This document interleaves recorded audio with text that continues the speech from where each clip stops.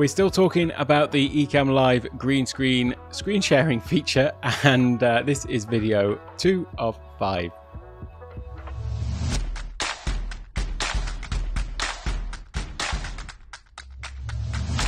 Hello, welcome to Take One Tech. My name's Alec, and uh, yeah, we're still diving into uh, basically this series of five videos, all about how you can get the most out of the new feature in uh, Ecamm Live, which is currently in the beta, but uh, we'll be making it into the mainstream uh, pretty soon, I would imagine.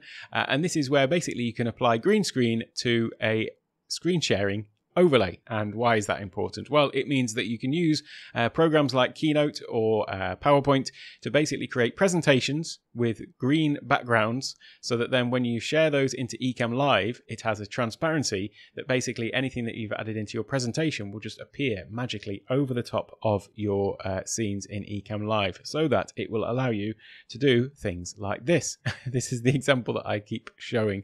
Uh, and there you can see we've got transparent uh, text coming through.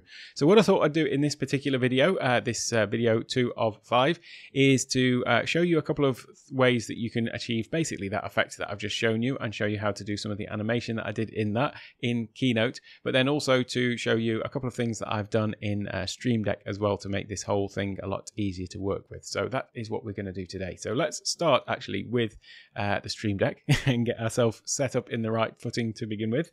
Uh, so I'm going to come into my demo mode uh, now, if you remember from the video uh, that I did last, which would have been uh, earlier today, yesterday, whichever time zone you're in, I'm not sure, um, then basically the screen sharing was, uh, as you can see, I've got this green screen here, uh, which is just my uh, keynote presentation. Uh, and then I've also got a little overlay, which is of that, which is this uh, overlay up at the top here, green screen share, I've called it. Uh, and you can see that as I move this around on the screen, it's moving this sort of uh, transparent box around. And that is simply just the green screen. And in fact, if I turn off the green screen function, which you do by clicking the little pencil icon in here. By the way, you can also do this in the settings in here. So sometimes if you've got layers stacked upon each other, or different overlays rather stacked upon each other, sometimes it can be tricky to get to the one that you want to uh, work with or adjust the settings, but you can always do it from in here as well. So here is that particular overlay. I could actually just come into this little cogwheel and just change it from there. That's often a lot easier than trying to do it in the scene itself, if you know what I mean. So here, if I toggled the green screen off, then there you go. Now you can see that this is basically just the scene that we've got going on down here. Uh, and now if I was to actually just advance this slide, let me just get that lined up again. If I was to actually advance this slide, uh, then we'll have another little animation come in and you can see it's just green, but if I toggle the green screen feature, then it becomes transparent. So that is basically in a nutshell how that works. So I have got that at the moment, um, as you can see, uh, in all scenes. So, uh, in case you uh, weren't familiar with the way that overlays work in Ecamm Live, there are three different sort of locations, if you like, that you can have an overlay. You can either have it show in the background, and so that will show in the background of all scenes behind everything else that's stacked up on top of it. It could also be something that is just unique to a particular scene. Uh, and so here you can see it says show in current scene. Uh, or you can have it uh, show in all scenes. And so that will obviously show in every scene. So uh, I have a lot of overlays that are shown in all scenes, but then I just toggle them on and off as I need them. And that is the way that I'm currently working with this particular one for this example. Uh, there are times when I would be using this uh, exactly the same methodology, using the green screen screen sharing feature to share keynote slides and things like that, but I might want it in a specific scene. I'll talk about that in a later video and why you might want to do that. Uh, but for now, it's just sitting here at the top. But the issue with this, potentially, is at the moment it's showing nothing because it's just a transparent green background, so it's uh, taking out the green. But if I was to stop this presentation by uh, pressing escape, uh, then now it's still screen sharing the uh, um, uh, the keynote slide uh, uh, program.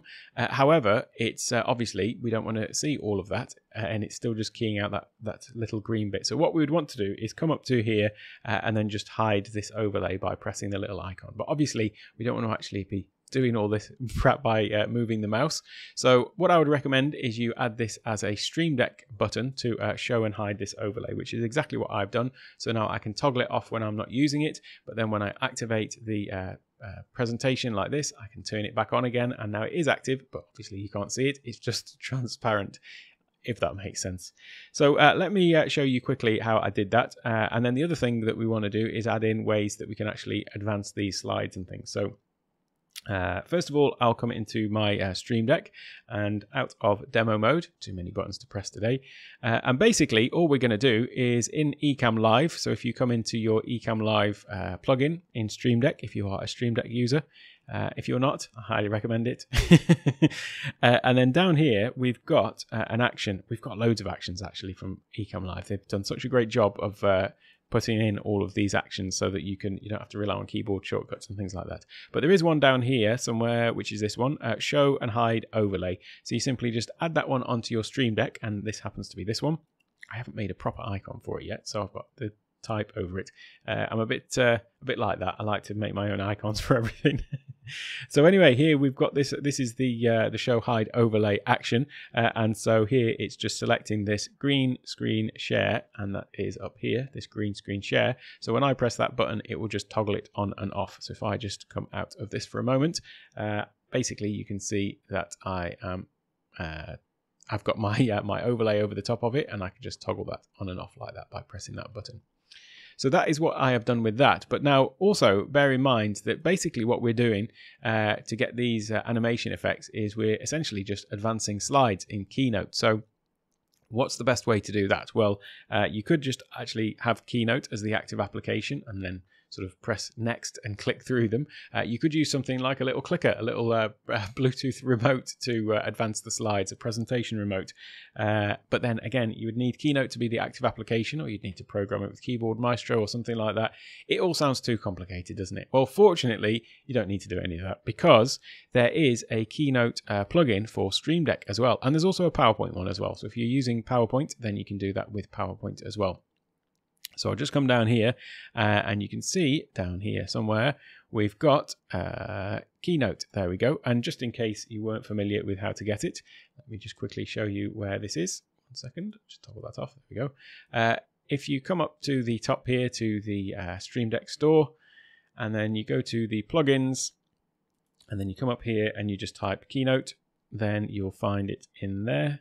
There we go. So install that plugin or if you're using PowerPoint, just search for PowerPoint and then it will come and you can install that one. And basically what that gives you is once the plugin's installed, as you can see, uh, we've now got this set of actions that we can add just specifically for Keynote. We've got play, next slide, previous slide, first slide, last slide. Uh, and all I'm really using is the next and previous. Uh, and then we've got the same for PowerPoint as well, uh, almost. So PowerPoint's got the same. It's also got load presentation, but then basically the same. Uh, so that is how we're using that. And I've basically just dragged those on. So I've got two little arrows here for uh, next slide and previous slide. Uh, and that is how I'm basically cycling through those animations. So that means that if I come back into uh, this one, and I uh, come out of this view, I toggle my green screen sharing back on, then I can press my little button and it will just advance to the next slide, which is basically the next animation. And so that is how I'm using that with Stream Deck. So what I thought we'd do is we'd just make a little example of actually how I made something similar to that overlay that's just popped on there.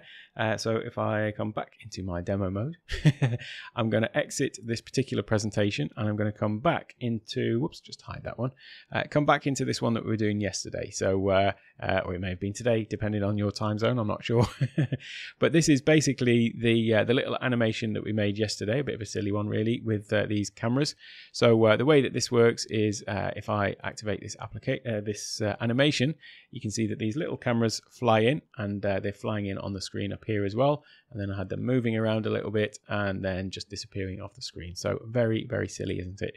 But anyway, what I'm going to do this time is I thought I'd make a little one with the, uh, the, the, sort of transparent text that moves in uh, and have some sort of animation with that just to get give you an idea of how the, the sorts of animations basically that you can do with Keynote and how you might use those with this.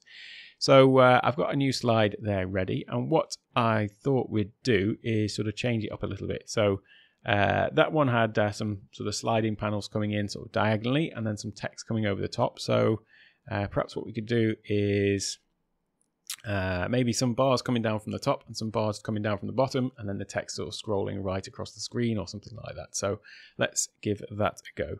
Uh, so I'm going to put on a, a, shape first of all, and let's. This is going to be our sort of bars. So let's say that we're going to make this, uh, how many bars should we have? Uh, say eight, four come up, four come down. Uh, so I'm just going to make that like that. So how big would they need to be? Let me get my uh, style editor. So we've got uh, basically with, uh, let me just show you where this is as well. so when you want to edit anything, so we've got our green canvas basically, that's our transparency, if you like. Uh, and now anything we add on to that and add the animation, it's all going to sort of uh, uh, just appear on our screen when we actually run it. So what I'm he doing here is I'm creating uh, some bars. So I want eight of them, and I'm going to basically have four of them come up down from the top and four of them come up from the uh, the bottom sort of in this effect uh, and then we'll have the text fly in so i'm thinking that i'll make these bars black uh, and so what i want to do for that is now that i've added on a shape i just went up to the shape at the top and I just grabbed a rectangle. So now I'm going to go over to here. We've got the uh, uh, the format panel. So if I click on that one, uh, and then what I want to do first is let's give it a color. So I'm going to make it black uh, like that. And then what I'm going to do is I'm going to adjust the size of it. Now you can obviously just do this by eye. You can drag it like this and it will just sort of do the alignment for you. Uh, but also what you can do is if you come over to the arrange panel over here, uh, you can actually specify the, si the size uh, completely. So what I'm going to do is I'm going to, and the position as well. First of all, the position, it's always from the top left corner. So I'm just going to make this uh, zero, zero, because that means basically it's uh, starting from exactly in this top corner here. And now the size of it, this is, uh, uh, I suppose technically I should do this as a 4K. You can just change the size. Uh, in fact, let me just show you, I won't do it, but let me show you where to do that. So when you come into the document over here, um, we've got widescreen, so it's selecting the right sort of aspect ratio for us. Uh, and you can come in here and you can change between standard and uh, custom. So uh, widescreen or, uh, sorry, you can change between standard and widescreen. So 16 by 9 or 4 by 3. Uh, but you've also got this one, custom slide size. Now, when it's selected 16 by 9, it will just default to the sort of HD 1080p, 1920 by 1080, as it were. So here you can see that. But you could just change that to be 4K and actually create 4K overlays. Um, so that is uh, another option that you can uh, you can do to just make sure the resolution is the same as your output if you're outputting in 4K. Also, if you made them in 1920 by 1080, uh, you can just go in and change that and it will generally scale everything up. So if you've got text and images and uh, things like that on the, the screen, it will just do all of the scaling. So you can always go back and do that afterwards if you've got some like old presentations that you need to do. Uh, Keynote specifically is quite good at, uh, at maintaining that and doing the scaling properly. Obviously, if you have got low res images in there, it is going to be blowing them up to you know double their size. So uh, so the yeah, that might have a slight issue, but in general, everything will maintain its positions and it will all look good. So uh, that was uh, a little bit of a diversion, but let me come back to the format because now we want to set the size. So the, the, the height of this is 1080, so I'm going to change this one to 1080. Uh, and then we want eight of these and it's 1920 wide. So we need 280 for here. Uh, 240, sorry. There we go. So now we've got a bar. And now what I'm going to do is I'm just going to copy this one across like this. Uh, and then I'll copy it again to here. I could go in and put all of these values in manually in terms of like the actual exact position of them. But I'm hoping that this will just uh, all nicely work out in the end. Now I've got something quite not quite right there. Let me have a little look. Uh, there we go. Ah, there we go. That was where the gap was. I'm just nudging these over until they are basically uh, completely next to each other rather than having any overlap because this should all just perfectly stretch to the very edge. There we go. That's it. so now I've basically got these four rectangles. So what I want to do is I want to have uh, some of them fly in from the top and some of them fly in from the bottom. So let me uh, just have this like this. And what I'm going to do is now I'm going to add the animation. So I'm going to come to the animate, uh, add an effect. And then we want these to uh, move in. It's actually the uh, the the word, and we don't want build out because we want them to actually appear first of all. That helps if they come in first before they go out. So we'll have that as uh, it is actually fly in. There we go. Uh, so that is basically no, that isn't the one we want. Do beg your pardon. We do want move. uh, move in. That's what we want, not fly in. There we go. So that is moving in, but it's moving in from the side at the moment. So we want some of these to move from the top and some of these to move from the bottom. So uh, now that we've actually got those in there, we basically want alternate ones. So I'm going to just come and highlight the alternate ones on this side. So you can see we've highlighted uh, these sort of alternate ones. Let's have these ones, the direction over here. We can change move. We want those to go top to bottom. Uh, and then we can click on the, uh, let me just move this out of the way a little bit. We can click on the build order so that we can see when these are all happening because we do want them all to happen at once, but I'll just get the direction done first. Uh, and then these ones here, uh, we want these ones to move uh, whoops, bottom to top. So these ones we're going to have bottom to top. So now what we want to do is, if you remember from the last video, we've got this build order, which is basically going to tell us when uh, these things, these animations are going to happen. And we want them to all happen with that first one. So it all happens at the same time. So I'm going to drag that onto there. That's a shortcut way of doing, uh, sort of linking them all together. But it's still saying after previous. So we want it to happen with the previous like that. So now if I preview it, you can see what's happening. This is just sort of moving in like that. Uh, so that is uh, what we've got there. Now, what we could also do is we could play around with the timing of it if that's a bit too slow or a bit too quick. So let's try that. A bit faster, isn't it? So we'll leave that one like that. Uh, and then what we want to do is uh, now that we've got that there, uh, we want to have some text flying in, don't we? So what we could do though, just before we do that, is we might want to actually just put in the uh, the build out while these are nice and clear and we can see them easily. So what I'm going to do is I'm going to add a build out effect. Uh, and then we're basically going to do exactly the same. And what we want to do is have those move out. Uh, but again, we're going to have to adjust the direction of them. so again, I'm going to take these. Uh, uh, which way did this came? So this came from the bottom. So let's have it move uh, bottom to top again uh, as it moves out. So we want alternate ones again. Whoops, daisy, there we go. I'll get that one in a second. Do that over here instead. It helps if you it helps if you press the right button, doesn't it? There we go. I was pressing Alt instead of Command, which is how you select multiple ones. So what we want to do with those is we want those to move bottom to top, uh, and then we want these other ones here. Pressing the right button and it works. Amazing, isn't it? Eh? Next one is top to bottom. Uh, and then again, we want these all working uh, together with each other. So if I uh, preview this now, uh, you can see that those are moving out. Ah, one thing I forgot to do. I forgot to say that they needed to happen with that particular action rather than uh, after it. So I'll come down to here where we want it to start. Uh, start with previous. So that's going to move out like that. you notice there's a little bit of a bounce there. So it sort of bounces up before it comes down. Uh, I'm not sure that that is what we want in this uh, particular case. So we can take that off here. We can move that bounce. We can unclick that and we can unclick it from here as well. Like that. So uh, now what we've got is basically the uh, scissors come in and then they go out the other side. Now let's have a look at what that actually looks like on the output because uh, it's interesting to see how that's going to look when we do this as screen share uh, green screen. so let's come to uh, screen sharing and toggle that one on. So now watch what happens when I advance this slide. You can see it basically uh, should, whoops, wrong one. it started from the beginning, beg your pardon. That's not what I wanted it to do. It should now, hang on a minute, what's going on? I've got the wrong slide selected, that's why. Silly Billy. right, let's try this again there you go. You can see how that basically just masked the screen. And now when I advance again, then it's going to basically unmask it. So that's just basically applying that to uh, over the top of my uh, my video, isn't it? So that's what we're trying to get to. And now what I want to do is I want to animate some text actually in between those uh, build in and build out of those uh, those bars. So uh, I'm going to come and grab some text. So uh, that is basically just up here. You come and grab a text box like that. Uh, and then we can basically add in whatever we want. So uh, let's add, uh,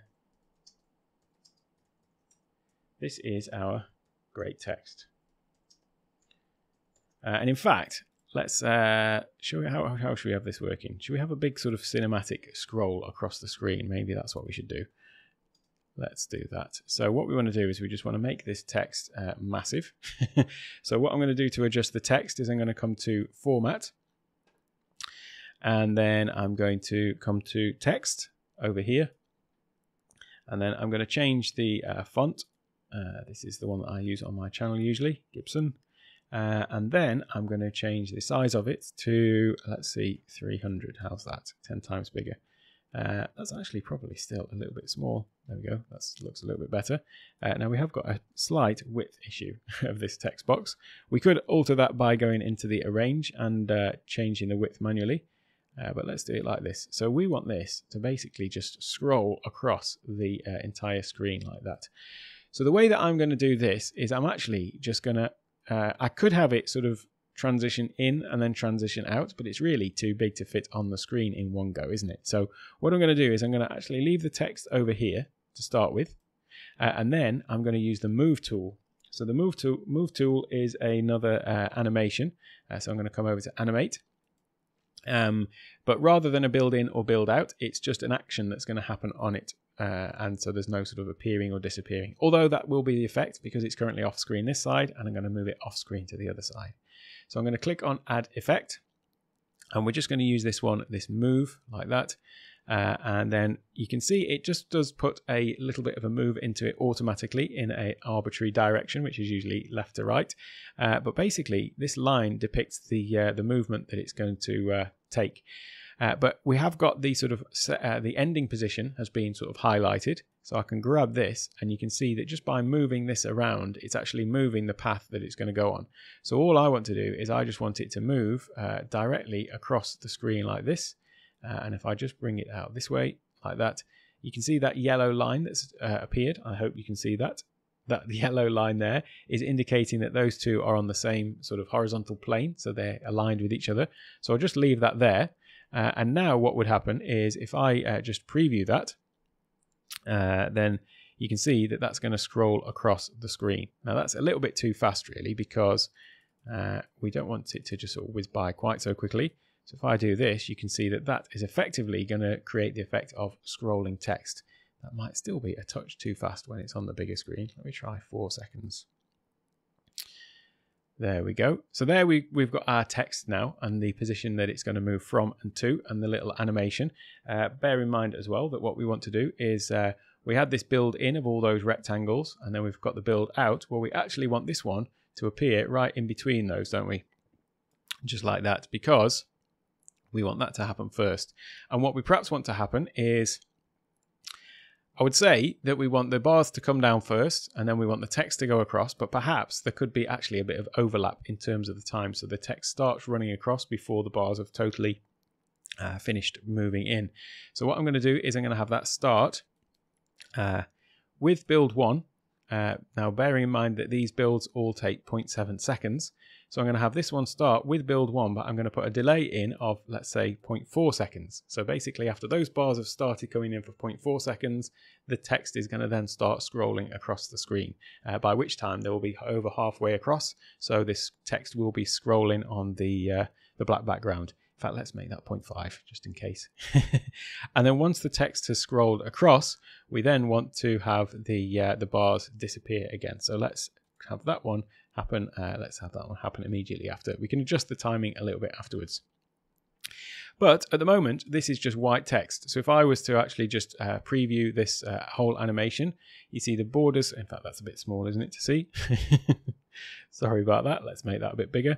Let's try that again. You can see that the bars come down, the text scrolls across, uh, and then uh, the bars disappear. But there's no transparency in there, which is in the actual text itself, which is what we're trying to achieve. So what I'm going to do is I'm going to select the text and then I'm going to come over to my color picker and uh, I'll put the hex code for the green screen in the uh, in the description by the way uh, but I have actually just added it to the color picker here so come over to the uh, the format then come down to the uh, the font. If you've selected text, usually it will just select the uh, the text color anyway. Um, but if it hasn't, then just come down to the uh, the format, come to text, uh, and then come down to here where this little color wheel is, uh, and then you can change it to green. So now we've got green text there. Uh, I just want to check it has changed for the other end of it as well? Yeah, it has. So uh, that is how we change the text. Now we may want to add something like maybe a drop shadow or something like that to it. Uh, or in this case, it's obviously on black. So let's put a white border around it. So let's come to the, uh, the text again. Now there are actually a couple of places where you can add drop shadows. If you come into the style, which is where you might think it is, because you can't immediately see shadows or anything like that in here, you might think, well, I'll come over to this text, this style, and then here we've got a border. Well, if you add a border to here, what it actually does is it's actually adding, uh, let me just change the color of it so you can see, it's actually adding a border around the text box rather than the text itself. Uh, so, uh, however, if you do use the drop shadow, the drop shadow, funnily, does actually apply to just the text rather than the box itself. So it's a bit of a uh, not necessarily consistent there. But if I come over to the text, the place where we want to add this is basically in this little uh, cogwheel here. So I'll click on that one. Uh, and there's a couple of things that you can do. You can add an outline or a shadow. So we want to just add, let's say, a white outline. So I'm going to come to here, change the color to white, and then I will make that a little bit bigger let's say 10, you can see that it's adding this little outline around here. It might be a bit faint for you to see at the moment, but it is adding an outline. So now what's going to happen is if I uh, just come back here and we'll play this, let's play this in a window. And then I will come to, second, get that one out of the way so that you can see a little bit. Uh, toggle my little green screen on. And now when I play this, there we go. You can see through the text. It's still probably a little bit quick, that is, to be honest, for uh, uh, for that. It just the speed that it went across the screen, it looked a little bit too quick. So I might just quickly go in and uh, toggle my green screen off, and I might just change that. So if I come down to the animation, the build order, you can always get back. This is our text. So let me just change the uh, the timing of that, and I'll make that say five and a half seconds. That will be a little bit slower. In fact, let's make it six and seven. six and a half or seven. There we go. So that should hopefully look a little bit better. So what I'm going to do is I'm going to come out of, uh, I'm going to actually activate this first. Then I'm going to come out of my, uh, my demo mode so that you can see this full screen. And then I'm going to uh, toggle my little green screen screen sharing on and then let's play this and see what happens. Now, one thing just to note, that I nearly did, which I did do in my first video, by the way. I left my little mouse on the screen. So you don't want to be doing that because you don't want it to look like you've got a mouse somewhere in your, your scene. So do make sure that when you are screen sharing, it's easy to forget your screen sharing because it's obviously transparent. You can't see it, but just make sure your mouse isn't over the screen. So I'll move that out of the way uh, and then let's see what this slide looks like when I advance it. Uh, oh, and I've done it again. I've gone to the, completely the wrong slide. you've got to make sure you've got the right slides, of course, as well. Let's try that again, shall we? so here we go. This is uh, what that animation looks like. It's happened again. Hang on a minute. Something's not right here. I must be pressing the wrong button. Uh, one second. That's what we want. There we go. I got there eventually. So that is basically how you make an animated overlay that uh, comes in uh, with text that is transparent and fades out to a transparent background. And uh, that is all for this particular video. But I am obviously, as I say, going to be making another few videos. And in the next video, what we'll look at is how to do some masking so that you can have things that appear that they're coming from uh, behind uh, existing elements that you've got on the screen, even though that this is actually right on the top of the screen. So that is what I'll be covering in the next video. If you found this useful, as ever, don't forget to go and like and subscribe. And in the meantime, check out some of these other Ecamm Live videos coming up next. Have a great day.